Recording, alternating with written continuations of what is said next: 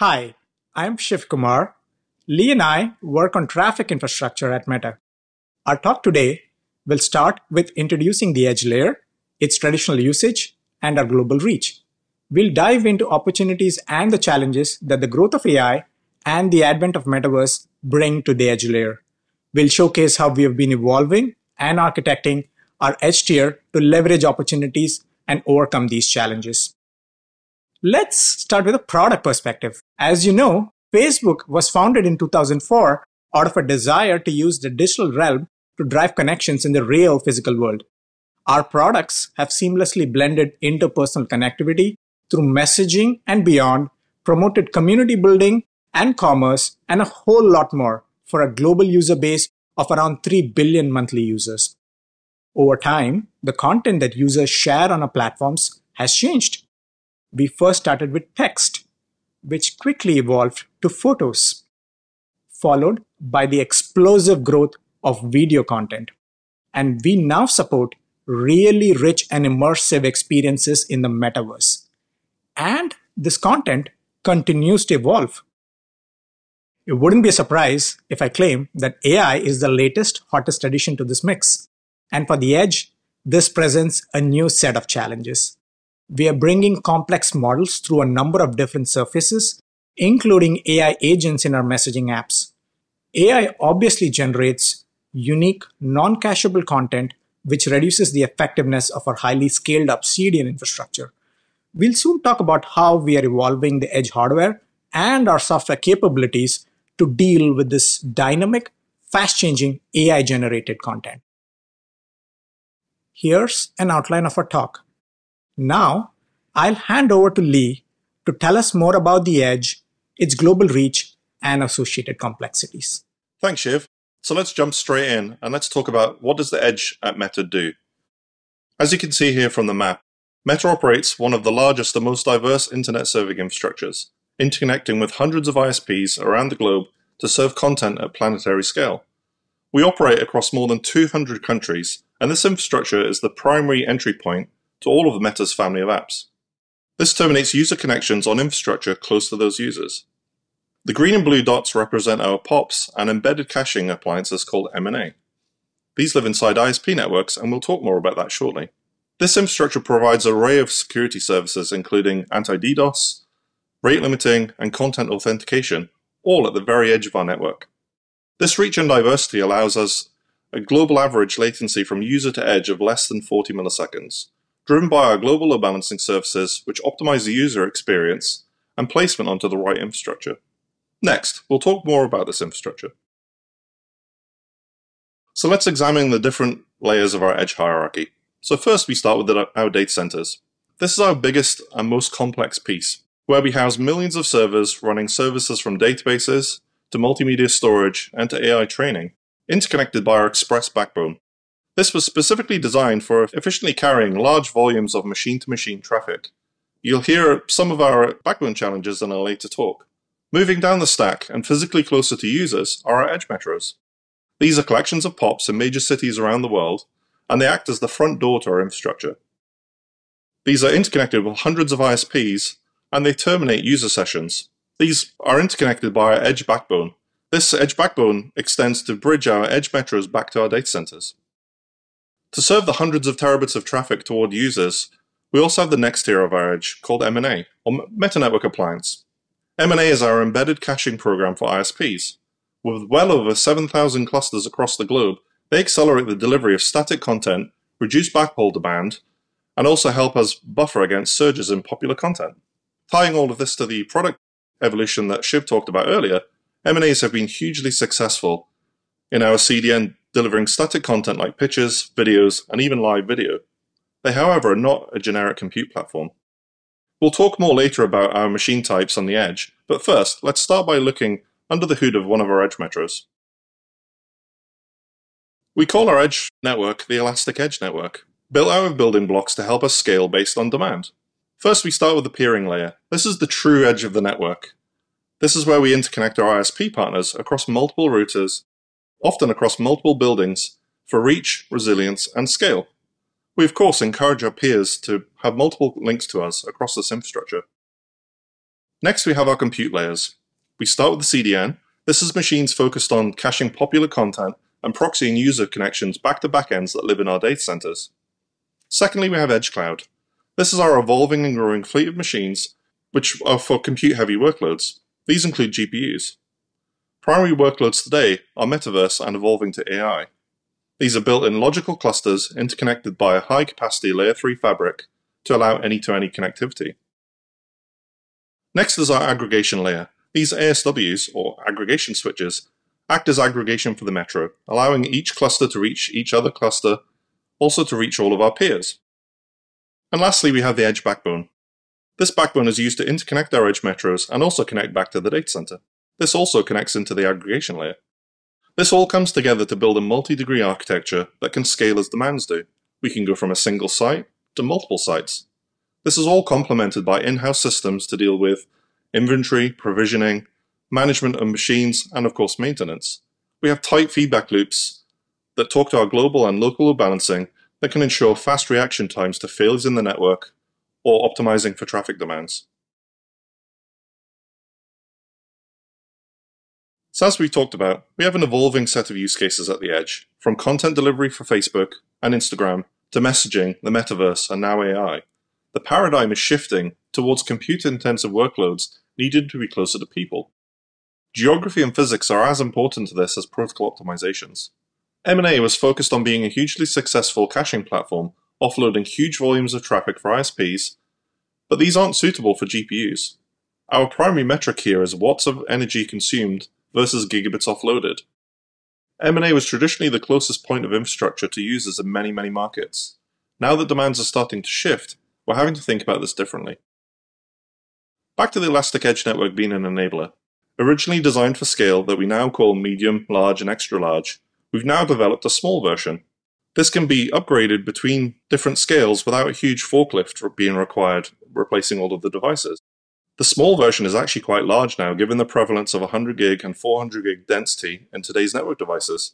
Aimed at developing markets, but of course not just developing markets like Africa, but more third and fourth tier interconnection markets outside of the NFL cities, even here in the US. Small deployments are a starting point, built of a small number of compute racks plus smaller network gear. Think here pizza boxes versus giant refrigerator sized routers. Small deployments can cause issue, of course, easily overwhelmed by spikes in demand. We keep these within acceptable utilization targets with our global load balancing and workload placement. Shiv will talk about this more later. So as I said, locality is key. Bringing compute resources closer to users is obviously very important. So now we need to look at the different compute resources we need. So alongside building smaller applications, we're now introducing different compute types at the edge. Traditional reasons for entering a market would be offloading CDN traffic and bringing user termination closer. This offloads huge volume.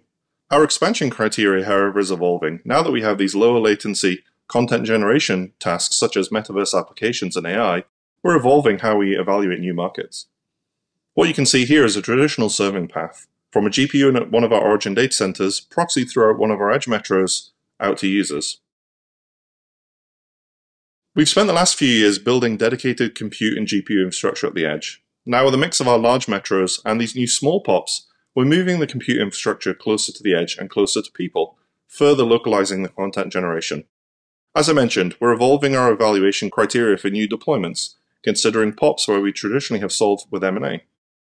It's of course a balance between use cases being on the edge that really need low latency to users versus using our huge data centers, which have very different cost bases and economics due to their scale. Edge follows the sun, so there are opportunities for opportunistic, off-peak workloads using compute when users in that geography are asleep. Of course, even further, distributed workloads means complexity in fleet management, orchestration, and of course placement. It's easy to overwhelm small infrastructure with user traffic. Let me hand back to Shiv, who can talk to you more about some of the things we're doing in this space. Thanks, Lee. Now, let's look at what it takes to provide computation and AI inference on the edge. Let's again apply the product perspective to see how we use the edge compute layer. Expanding on what we saw earlier, we currently support four categories of applications. The metaverse is Meta's virtual reality offering. The low latency reach of edge clusters offers a convenient medium to host interactive virtual worlds and build immersive experiences. Our products like WhatsApp have launched AI agents that converse, provide recommendations, and even engage in interactive dialogue. We are now exploring building inference capabilities on the edge to enable low latency interactions and to conserve our precious network backbone bandwidth. Connection latencies are obviously crucial to any gameplay experience. This makes gaming a natural use case to run on the edge. Wearables like AR VR devices and smart glasses are limited by their power, on device storage, and have other constraints. The computing needs of these devices is increasing in complexity. We are starting to use the edge tier to offload compute, stream content, and render graphics. Now, let's look at the common challenges for all of these use cases. Offering a general purpose compute or running AI inference on a globally distributed edge that Lee just outlined creates novel challenges and requires innovative solutions and capabilities. User requests need to be routed to appropriate compute clusters globally in real time while satisfying complex placement criteria and constraints. This means deciding which workload runs on which cluster is not straightforward. The edge hosts are located much closer to the public internet and hence require higher scrutiny of ingress and egress traffic. This, coupled with having to run a mix of first party and third party application code, presents an increased threat surface requiring strict tenancy and access controls. Our edge fleet is heterogeneous with different SKUs of hardware and software complements. In effect, not every cluster or every machine can support all of the four categories of application requests that we just saw. An application can consume varying amounts of hardware resources over time and require specialized firmware or device driver configurations. This requires the edge fleet to be managed efficiently. We will examine each of these challenges and our solutions over the next few slides. Let's start with orchestration and placement. With a fleet and a user base that are both globally distributed, matching the user request to an optimally placed cluster is very important. In comparison, CDNs tend to have a globally homogeneous setup, and if a request gets sent to a suboptimal location, it still successfully serves the request with just a slightly higher latency. Here's a scenario of it being done inefficiently. As you can see, it takes four round trips to find the optimal cluster. What this means is edge compute introduces additional constraints like hardware affinity constraints, meaning certain workloads can only run on specific GPUs. We have experience constraints like applications requiring certain latency, bandwidth, or geolocation needs. We have resource constraints with VMs having to be warm to serve traffic, and applications like metaverse or gaming tend to have long sticky running connections, which introduces persistence as a constraint. This makes it a multi-dimensional optimization and scheduling problem. To solve for this, we have built a series of scheduling systems. We use a primary targeting system that identifies viable regions based on the user's location, connection latencies, currently available compute capacity. And then we use the output of this system through a secondary scheduling system that dynamically satisfies for the hardware, the experience, and the resource constraints to perform subfiltering of the clusters and then resolve the request to the most optimal host and VM. Now let's look at the workloads and the environment itself. So what's really unique about computing or inference on the edge? Edge machines reside outside of Meta's flow and access control mechanisms like rate limiters, proxies, and much more. And this can pose security risks. This then makes the compute environment itself untrustworthy. On the host itself, applications could be third party applications like games developed by external developers, or first party applications can rely on third party middleware or have open source dependencies. The metaverse or AI inference is a good example. This makes the workloads untrustworthy as well. To solve for this, we employ a host of solutions. We mark edge hosts at an off-net isolation level and treat them as completely untrusted environments. This means we do not store any information on them. We use VM isolation to tighten up security and have strict network authentication and authorization to deter network sniffing. We also employ several security measures and intrusion detection system and a whole lot more. To top it all, we selectively enable data center access from the edge. To manage the workloads themselves, we have engineered a network isolation perimeter to create boundaries between different trust levels and have overlay networks in place to segregate the flat physical network. Now let's look at how do we manage our fleet. Managing a fleet of more than 100,000 GPUs is a scale challenge. Different SKUs means not every host can support every workload.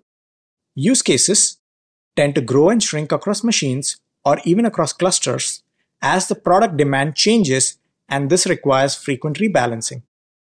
Applications tend to customize these machines with specialized firmware or device drivers. This then requires reimaging and active host management. And just like any other infrastructure, we do need to support maintenances, drains, upgrades, and in general upkeep of a remotely located fleet.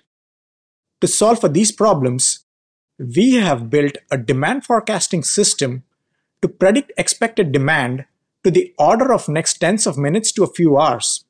We use this to allow applications to customize and prepare their hosts ahead of the actual demand. In addition, we have also built an edge autoscaler system to order and prioritize the workloads per business value and to spin up or down instances as the demand changes. These software solutions tackle demand control and prediction. But the need for hardware heterogeneity is making us redesign our shape or the makeup of our edge machines. Let's go back to Lee to have him take us through the machine shape evolution. Thanks, Shiv. So let's talk about machine shapes. The traditional CDN use case meant we needed a balance of CPU, memory, network, and disk. This served us well for a good number of years. This helped us scale during the video boom and also allowed us to have a uniform machine pool across the edge. Evolving use cases like metaverse and AI are making us think differently. Our first introduction of a new machine shape on the edge was the introduction of a graphics rendering machine. This includes graphics GPUs aimed at gaming and metaverse applications. Now, as Shiv talked about earlier, AI is generating lots of content which is very unique. It's far less cacheable. So now we're introducing a machine with much more disk, lots of NVMe flash so that we can keep up with new demands. And lastly, as we start to think about inferencing on the edge, there's a potential need for a machine with much more powerful GPUs. Our current GPU is very focused on graphics rendering, less so on inferencing. We now need to shift that paradigm as we start to think about different use cases. And so to recap, we're evolving our edge to go beyond content and connections to also include compute. Where mobile clients are getting more powerful, compute needs, especially for AI, are growing exponentially. Edge offers a hybrid model to offload client compute. We're architecting our edge towards a future of conversational AI and to host stateless applications. So what's next? Of course, it's not all done. Our hardware complement is growing, we're developing more machine types as use cases expand, GPUs are solving for graphics rendering first and inferencing later. Our edge fleet continues to expand, opening up into new markets and enabling new lower latency real-time experiences and cloud offload. We continue to focus on our edge developer ecosystem, building our internal tools and systems to help our internal developers have the ability to seamlessly move workloads back and forth between the edge and our data centers where it makes sense. Thank you.